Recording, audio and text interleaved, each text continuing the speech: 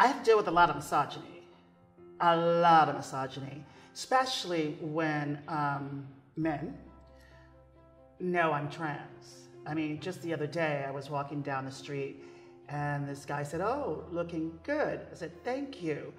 And then he drove up to me again and said, Can I get your number? And I said, No. And then he said to me, uh, I just wanted to feel your tits, that's all. And then drove off. And I was so taken back. I was so shocked.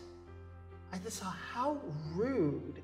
You know, sometimes men, when they know you're trans, you're an easy target.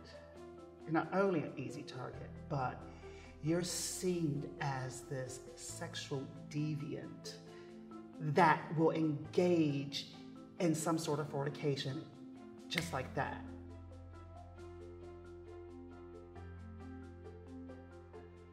You're gonna get stared at. Public transport seems to be the worst. Maybe it's because you're in like a small metal tube. Um, you get people taking pictures of you on their phones, and it's never as subtle as they think it is.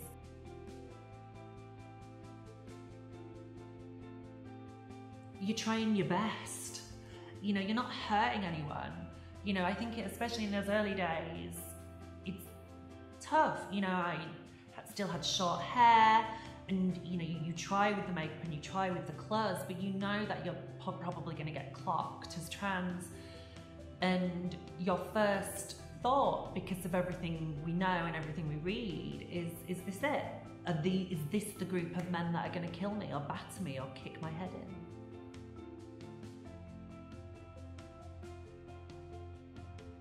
Because we're a minority group sometimes we're seen as like a, something that should be kept a secret.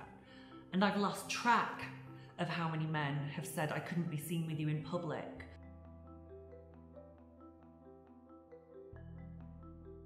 Naomi was a black Muslim transgender woman. I think she fell through lots of cracks. I don't think there was a lot of people looking out for her. I don't think there was anybody protecting her or making sure she was in a taxi. And that makes me really, really sad.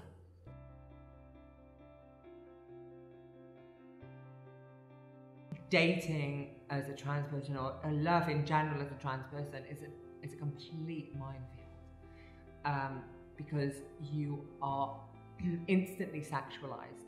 And the reason that that happens is, um, is that if people seek you out for being trans, it's because you physically are something that they want, physically. They don't seek you out thinking, I'd really like to meet somebody that's got a really good sense of humour. They seek you out for a trans physicalness, a trans body, that's what they want.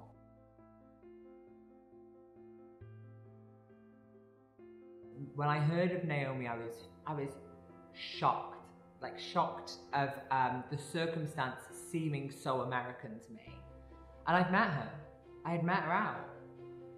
And it was really sad and you're and you are left thinking I've been to hotels with guys.